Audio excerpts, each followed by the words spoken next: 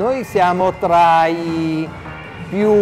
eh, storici partecipanti a, questo, a questa premiazione e crediamo che la continuità sia fondamentale. La, il significato del premio sta nel, nel riconoscimento di quanto facciamo di buono per i nostri collaboratori e anche raccogliere le, so, le sollecitazioni, i suggerimenti per migliorare sempre di più. I nostri collaboratori sono mediamente eh,